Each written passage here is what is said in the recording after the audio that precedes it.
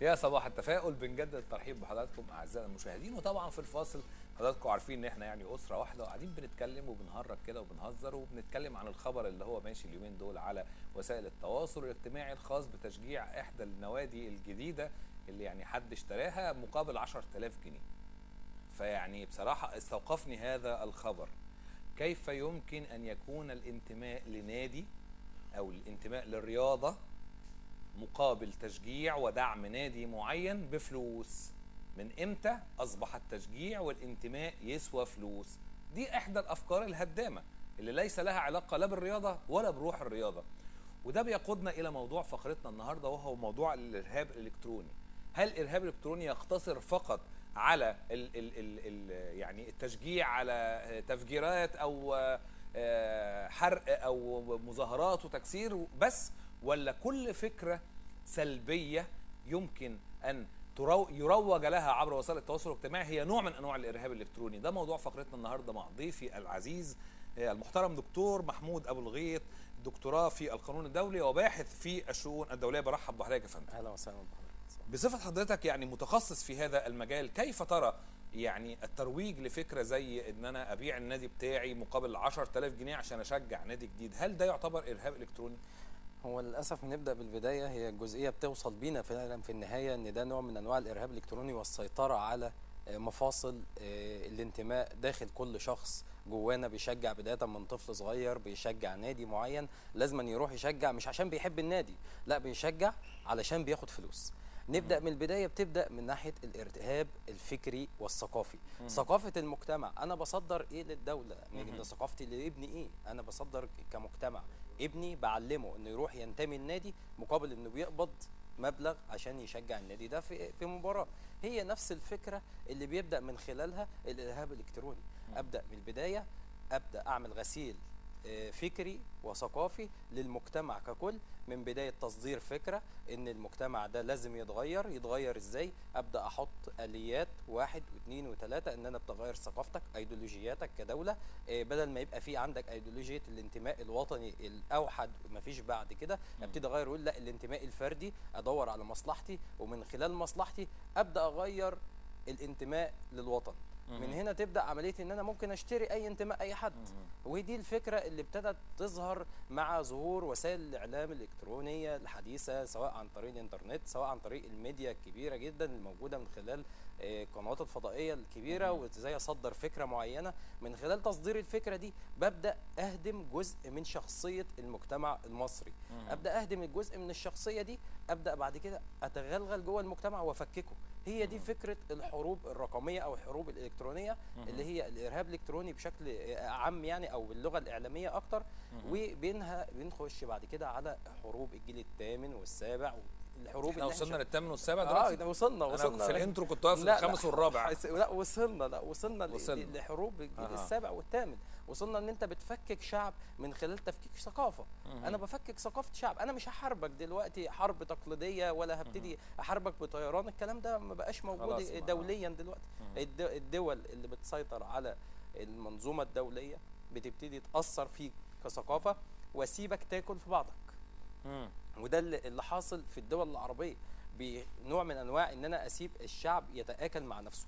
أصدر فكرة سلبية ومن خلال الفكرة السلبية أسيب الشعب يتفاعل وأسيب الانطلاقه بقى من خلال مواقع ترويج لا المفروض الدولة تعمل كذا لازم أضغط على الدولة وبالتالي خلي بالك إحنا بنخش من النقطة دي نقطة غاية في الأهمية من ناحية القانون الدولي إن أنا بغير في سيادة الدولة وسيادة القرار طبعا. من خلال الضغط بوسائل إلكترونية اللي هو الإرهاب الإلكتروني طبعا. مش شرط يكون الإرهاب في صورة واحد راح يفجر لا، واحد خالص. يقتل. صحيح. مش شرط دي. أنا بتعمل نظام انهيار لمبدأ السيادة. مبدأ السيادة ده مبدأ متعارف عليه طبعا. دوليا إن كل دولة لها حق السيادة على إقليمها والشعب هو اللي بيسود. فبالتالي لما اخبط الشعب في بعضه زي ما بيقولوا باللغة الدارجة يبتدي يحصل عندي تفكك في الرأي ال- الحاكم أو رأي القرار الحاكم في الدولة. يبتدي ابدا من هنا أفكك براحتي في الشعب أبدأ أحط ايديولوجيه إن إزاي؟ أحط ناس في في إقليم معين وأقول لهم أنتوا هتبقوا دولة لوحدكم. تبدأ من هنا فكرة أفكك الانتماء. الانتماء هو عصب الدولة سواء الدولة المصرية أو أي دولة عربية.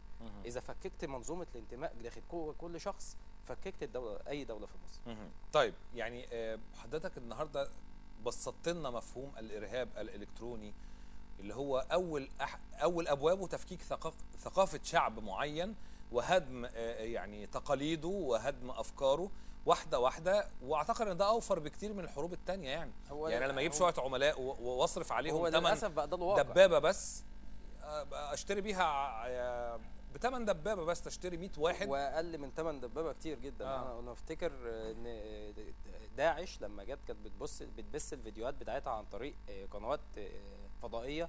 وبعض المواقع الإلكترونية تم اكتشاف بعد كده إن هي كانت مأجرة موقع في إحدى الولايات الأمريكية والموقع ده بيتأجر في الشهر ب 70 دولار.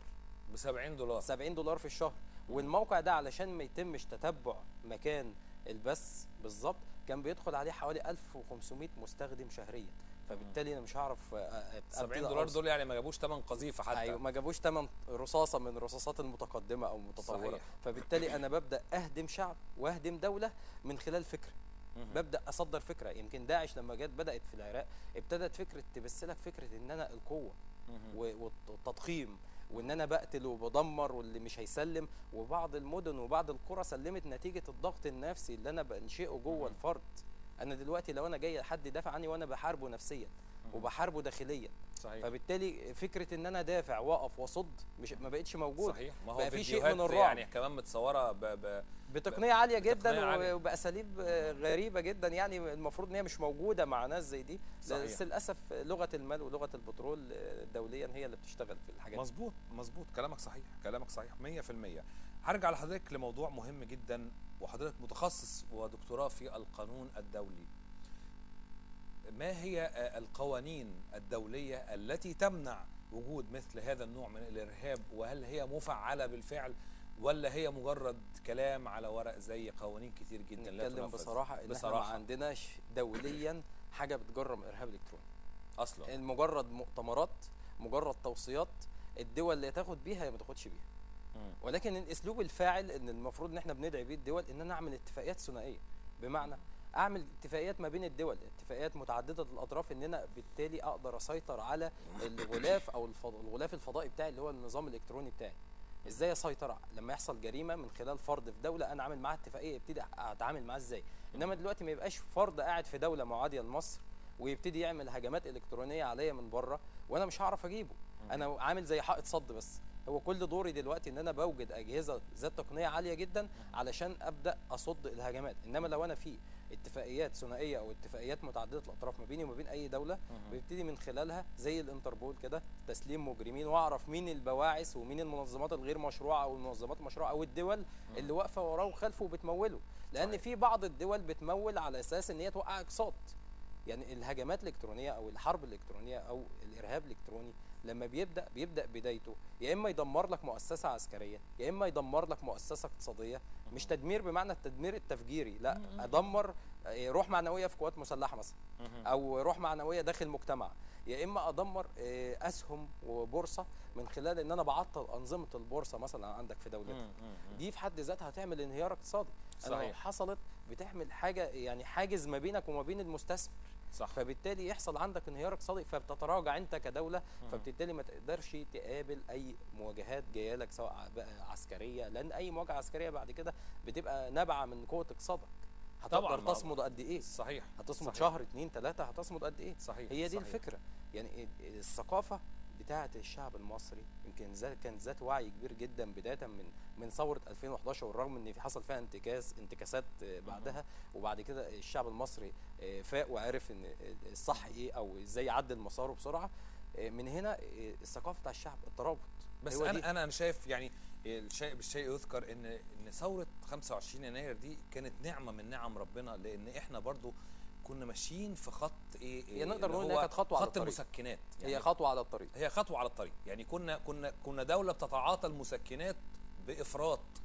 لدرجة إن أصبحت آه، أصبحت دولة متخمة بالمشاكل وما بتتحلش محافظين على الأسعار فعلا ولكن حقيقي. هي في عندنا شيء آه. من التضخم إحنا في. ورم بيكبر آه، كل صح. يوم وإحنا محافظين على الأسعار بصراحه كان كانت دولة جميلة جدا يعني إحنا محافظين على الأسعار وال- والغلبان ولكن مبسوط حالنا كان ولكن حالنا كان بيتضخم والورم صح. كان بيتضخم إحنا لو هنذكر الثورة الفرنسية قعدت سنوات آه، طبعا. تمام؟ وقعدت تغير على كل متغير بيحصل وازاي. يبتدوا يطوروا من نفسهم. إحنا ما عندناش ادنى مشكلة إحنا عندنا نطور. صحيح. بس هي الفكرة ان إحنا ما عندناش القدرة دلوقتي معلش أنا آسف في اللفظ ان إحنا ننزل في ميادين تاني ونوقع اقتصاد والدنيا لا، لا، تبوظ لا. لا ده الشعب المصري الشعب واعي للجزئية دي قوي إن الفوضى لا بالرغم- تجلب إلا مزيد من بالرغم من إن الشعب المصري بيعيش آه، لحظات صعبة جدا, جدا. وكلنا بنعيش لحظات صعبة جدا. ظروف الاقتصادية ولكن الشعب المصري عنده آه، قدرة على التحمل وشايف إن في رؤية شغالة وشايف إن في مشاريع ممكن تكون هي الأمل لأولادنا. أو خلاص إحنا ممكن نكون الجيل اللي بيستحمل.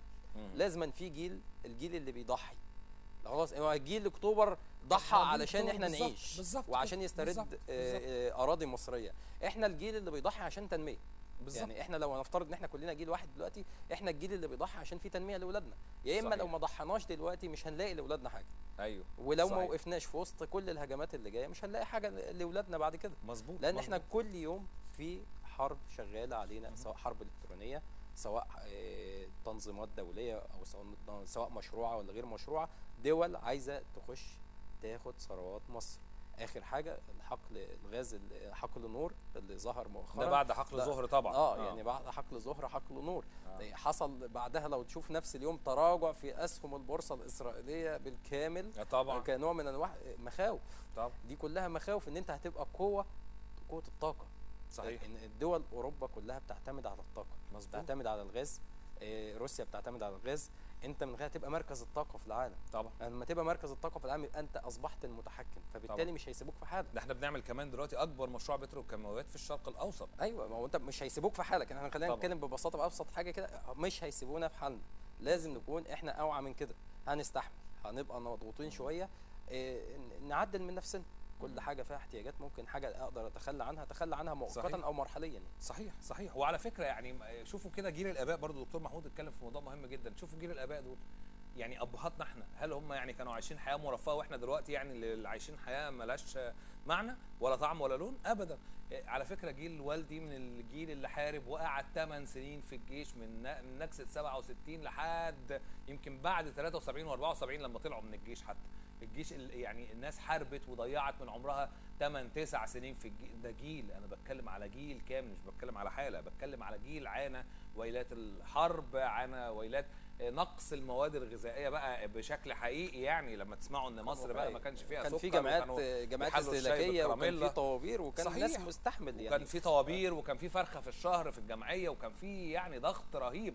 إحنا بس زي ما قلت كده بننسى.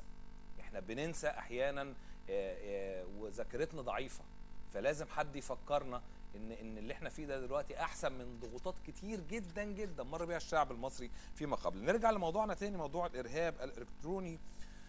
وأسباب انتشار هذا الإرهاب الإلكتروني بهذا الكم وبهذا ال- الكيف. الإرهاب الإرهاب الإلكتروني بيعتمد على الفضاء الخارجي اللي هي شبكة المعلومات اللي هي الإنترنت.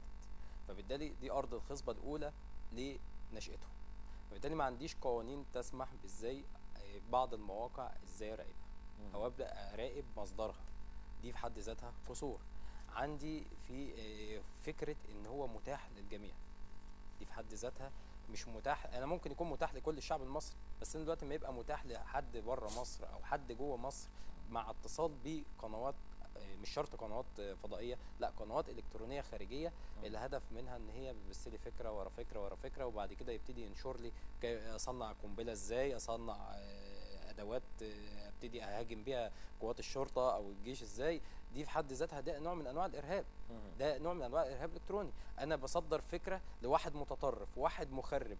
أنا اديته الثقافه بتاعتي وبعدين بقول له لا خد بقى إيه طبق على ارض الواقع نفذ بقى هي. دي ال- الادوات بتاعته ان هو بيبدأ من خلال ارض خصبة جدا آه، مفيش فيها اي رقابة بشكل واقعي وفعلي الا من خلال بعض الدول المتقدمة عندها اجهزة الرقابة وبتعمل حاجز أو حائط ناري اللي هي بتواجه ال- الاجهزة أو بتواجه الهجمات فاير وول. على على, بتعمل على الشبكة الم- بشكل بشكل مطلق يعني. إحنا عندنا في مصر لما يعني كان أذكر شيء بسيط جدا لما قام فكرة إن أنا أحجب المواقع الإباحية قامت ثورة في مصر في بعض القطاعات اللي الناس اللي إزاي نحجب مش عارف إيه. آه طبعا. ودي ثقافة مقصود بيها إن أنا أهدم ثقافة الشعب المصري الثقافه اللي هي المرجعية الدينية بتاعتي إن أنا المفروض ما أتابعش حاجة زي كده. قصاد مصالح. قصاد مصالح معينة قصاد نسب معينة آه. لناس في دول تانية. يعني إحنا للأسف خلينا بس يعني نكشف ورقة التوت كده ونقول بصراحة إن الشعب المصري اكتشفوا في موقع جوجل إن هو من أكثر شعوب العالم. أكثر شعوب العالم في البحث في, في هذا المجال فعلشان لما فكرنا إن إحنا نحجب المواقع بالشكل ده إيه، للأسف كان في ضغط طبعا. إلكتروني علينا من بره. قد إيه ده مش من جوه عليها. مصر. صحيح. ده مش ضغط إلكتروني من جوه مصر. ده من بره مصر للأسف. من بره مصر ابتدى بعض الناس يهاجمونا إن إزاي إحنا عايزين نعمل حريه حرية حريتي. أنا كدولة أقدر أحجم نفسي وأحجم آه، اطلاعاتي. طيب في كان- دول زي الصين وزي تركيا ما فيهاش فيسبوك وما فيهاش مواقع كتير محجوبة ومقفولة يعني ودول هي متقدمه فكرة, يعني. فكرة يعني إن اذا أنا الثقافة نرجع تاني لموضوع الإرهاب الثقافي أو أيوة. الفكري إن أنا بطوع ثقافتك وفكرك إن أنا بشغلك عن إن أنت تكون مفكر ومبدع. من هنا ببدأ أسيطر على دماغك. أسيطر على دماغك إزاي؟ بشغلك عن التفكير. أنا لو عندي دلوقتي مؤخرا شفت أكتر من فيديوهات على على اليوتيوب شباب مصري زي الفل آه، مصنع آه، جهاز بيتم إدارة موتور العربية بالمية. لو أنا س- و-. وفي وفي بال- بالهيدروجين بال- في أكتر من فكرة. فبالتالي أنا لو سبتك كشعب تفكر أنت هتفوق شعوب تانية. فبالتالي أنا عايز أحصرك في حاجة معينة. أخليك شعب منحصر في شهواتك في احتياجاتك في استهلاكاتك ومن خلال كده أقدر أحجم اقتصادياتك. أنت بلاش مش اقتصاد نامي مش اقتصاد بيتسارع عشان يطلع لفوق. لا أنت اقتصادك استهلاكي. طول ما كان اقتصادك استهلاكي أصبحت دولة ضعيفة اقتصاديا أصبحت ضعيف اقليميا أصبحت ضعيف دوليا مالكش وجود. طبعا. عشان نطلع نطلع ويكون لنا وجود دولي لازم يكون اقتصادي عالي. والإقتصاد المرتفع هو دليل سيادة القرار. أنا عندي أكيد. القرار بتاعي عشان يكون سيادي وما فيش أي تدخلات من خلال أي دولة تانية الاقتصاد بتاعي لازم يكون بيرتفع. أو ليا السياده في القرار الاقتصادي بتاعي. جميل جدا. طيب عايز أرجع لموضوع مهم جدا وموضوع الرقابة الذاتية. يعني إحنا مش دايما محتاجين الدولة هي اللي تراقب إحنا محتاجين المجتمع يراقب نفسه. الأب والأم يتابعوا اولادهم يعني ما هي أهم النصائح اللي حضرتك حابب تديها لأولياء الأمور لمتابعة أولياء آه، يعني لاولادهم حتى لا يتعرضوا لمثل هذه الهجمات الخاصة بالإرهاب الإلكتروني؟ آه، نبدأ بالبداية نتكلم. ناقش ابنك آه، لما يجي لك بفكره منشورة قدامه أو صفحة إلكترونية اتكلمت عن حاجة بتهاجم الدولة أو بتدي معلومات مغلوطة لأن في بعض المواقع دلوقتي كمان ابتدت تحط لك التاريخ بتاعك مزيف. صحيح. يبتدي دلوقتي لازم أنا أناقش ابني. أقعد معاه على الأقل فترة كل يوم أبتدي أناقشه في اللي شافه النهارده إيه؟ إيه اللي اطلع عليه النهارده جديد من على شبكات التواصل الاجتماعي؟ لأن هي دي التغلغل ده هو سبب الانفكاك التفكك تفكك. الاجتماعي. إزاي أفكك المجتمع؟ أنا دلوقتي لو بتناقش مع ابني وأبتدي أناقشه وأقول له لأ الد- الدين بتاعنا بيقول كذا سواء دين مسلم أو مسيحي يعني أكيد. الدين الإسلامي أو الدين المسيحي كلهم يحضوا على السوية الدولية يعني ما فيش دولة في العالم إذا لجأت لتعليم الدين الإسلامي وتعليم الدين المسيحي الدولة هتكون في حالة من السلام والوئام إنما إحنا كلنا بما إننا بنبعد شوية آه، ولا الدين فبنبتدي- اليهودي حتى في, يعني في حتى كل الدين الديانات. كل آه،. الديانات هي الفكرة نفسها إن أنا أقعد أناقش أشوف الفكرة اللي بتصدر ليا كمجتمع إيه ومن خلالها ببدأ أعرف إيه اللي أنا ماشي فيه كدولة؟ آه، ابدأ ابني اشوفه اراقبه بشوفه بيطلع على إيه؟ اوجهه. ابتدي أقول له لا آه، وضعنا كدولة وضعنا واحد اتنين تلاتة. إحنا كنا زمان كذا ودلوقتي الوضع بتاعنا بيتحسن علشان ابنك يحس ان في حاجة ملموسة. لأن كل دلوقتي الهجمات الالكترونية اللي موجودة على شبكات التواصل الاجتماعي آه، ما هي الا سواد بي- بيتحطوا قدام الجيل اللي موجود حاليا فبالتالي الجيل ما عندهوش طاقة العمل. طاقة العمل نفسها ال- الروح السلبية انهزامية انهزامية فما يبقاش في طاقة عمل ما يبقاش في وجود. الحاجة التانية اللي أنا بدعو فيها الدولة برضو إن إحنا ندعم الشباب. أدخل الشباب في المراكز القيادية فمن خلال لما ابقى شاب وشايف إن في بقى وزير شاب بقى في رئيس مصلحة شاب من هنا ببدأ أفعل الروح العمل. لا أنا عايز أنمي نفسي ثقافيا واجتماعيا عشان أبقى زي ده لا أنا أعتقد برضو كمان. في موضوع العمل تحديدا برضو يا دكتور في أزمة عندنا في فهم كيفية الالتحاق بسوق العمل يعني إحنا الطاقة موجودة عند الشباب كل الشباب متخرج عايز يشتغل وحقيقي عايز يشتغل آه فعلا لكن في نوع من أنواع الإرهاب الإلكتروني صدر لنا فكرة أن العمل هو أن تقوم بشيء مقابل آه مقابل مادة مقابل مادة. معينة بشكل مادة. معين فربطنا دايما العمل بالمرتب. فبقى أي شاب النهارده لسه متخرج من الكلية يلا تشتغل يقول لك هاخد كام؟ محدش فهمنا إن لازم آخد خبرة لازم آخد خبرة، أتعلم، محدش أشوف فهمني الدنيا ماشية إزاي وبعدين. أتعلم أشوف خبراتي إيه وبعدين أبدأ عشان أبقى مؤهل. أحط رجلي على أول الطريق. بالظبط. تمام؟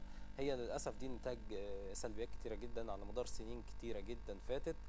فكرة ثقافة إن أنت لازم آه، حاجة قصاد حاجة دلوقتي علشان أقدر امن مستقبلي من الظروف اللي بتحصل آه. محدش بيدي فكرة لا أنت اتعلم آه، طور آه، فكر ابدأ هتلاقي ما هو صحيح. ده الكلام ده مش موجود دلوقتي في صحيح. ش- داخليا وأنا بعيب على وسائل ال- الإعلام للأسف في مصر والمواقع الرسمية أنت دلوقتي المفروض فكرة إن أنا أطور الذات إزاي؟ أطور الذات إزاي؟ أبتدي أط- أدخلها في الدراما المصرية أدخلها في السينما أدخلها في البرامج اللي بتنطرح على وسائل الإعلام. من خلال ده أبتدي أشحن الش- الشحن الذاتي. أنا دلوقتي لو الموبايل بتاعي فاضي شحن مش مش هقدر أستخدمه. صحيح. هو ده نفس الفكرة. الشباب في مصر هم وقود التنمية. إذا ما شحنتهمش علشان يبتدوا يحركوا ويمشوا الخطوه الخطوه لقدام مش هنقدر نتحرك. بالظبط. فالشحن الذاتي لازم يبدأ من عندنا إحنا. مش هنستنى دولة من بره تشحننا. بمعنى الشحن لا الدول اللي بره بتسعى لت- لتفقدنا حتى الشحنة الشرطة اللي فاضله في البطارية فكرة الانتماء.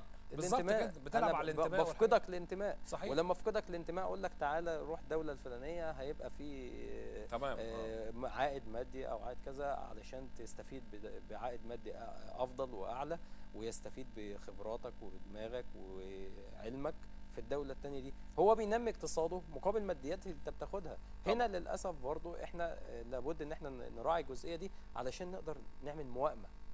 أبدأ أنمي من ناحية الفكر وبرضو أنا الناحية التانية الدولة أنا شايف إن هي في اتجاه إن هي بتنمي من ناحية المعادلة آه، المعادلة المادية. عادل ماديا على قدر أدائك للعمل على قدر علمك وابتدي أبدأ من هنا للتنمية الحقيقية. بشكر حضرتك شكرا جزيلا ضيف العزيز الدكتور محمود أبو الغيط دكتوراه في القانون الدولي والباحث في الشؤون الدولية على هذه الإيضاحات. بتمنى إن كل الشباب اللي بيتفرجوا علينا وكل المجتمع اللي بيتفرج علينا والناس يستوعبوا إن إحنا بجد في صدد الكلام عن خطر حقيقي يداهم هذه الدولة. لازم نتصدى له جميعا وإن دورنا هو دور مجتمعي. بامتياز بشكرك كل الشكر دكتور محمود على هذه الإيضاحات. شكرا. شكرا. أعزائنا المشاهدين احذروا الإرهاب الإلكتروني لأن هو دايما بيجي وبيبتدي على شكل نكتة وعلى شكل حاجة دمها خفيف ويعني السم دايما لازم يكون متغلف كده بغلاف سكري عشان تبلعه. وأنت مطمن احذروا من الإرهاب الإلكتروني واحذروا من كل ما يريب واحذروا من كل حاجة تحسوا إنها بتمس امن واستقرار هذا الوطن حتى وإن كانت نكتة ما تعملوش عليها لايك هنطلع فاصل قصير ونرجع لكم مرة ثانية تابعونا.